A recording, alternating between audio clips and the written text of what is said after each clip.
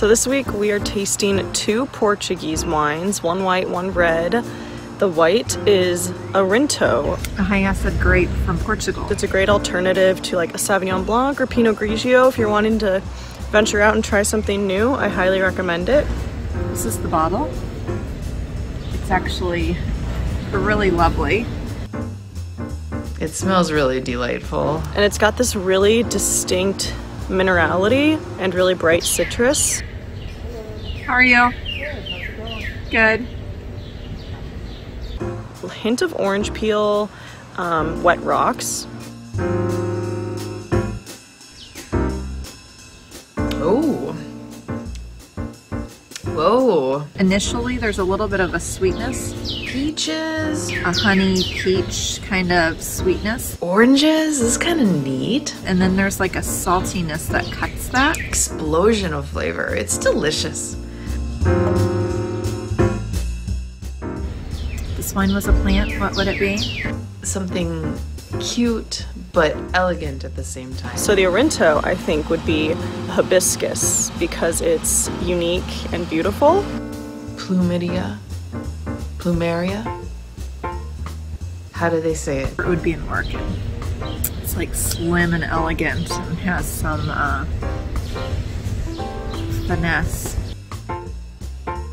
So let's move on. Another wine from the same vineyard, Quinta Varzea de Pedra.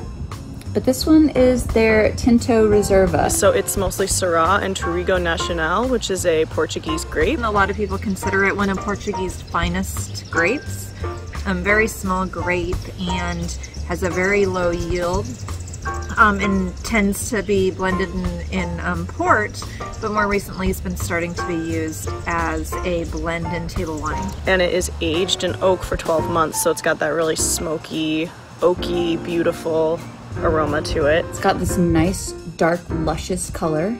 I like that. I want to sniff this all day. And we're about to have some background situation going on. So just, just ignore that. smells like licorice, Very strong and fragrant, chocolate, dark, dark fruit.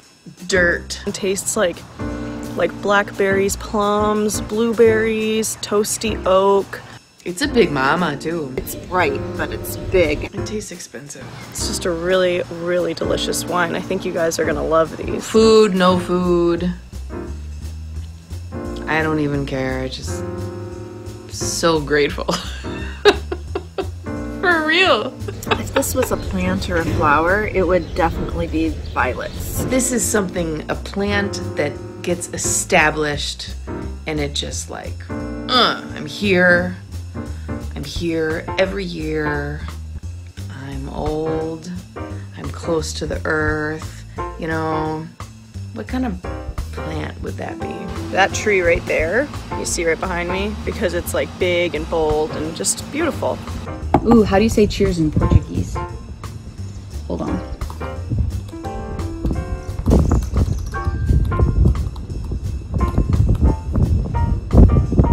Oh, duh. Felicidades.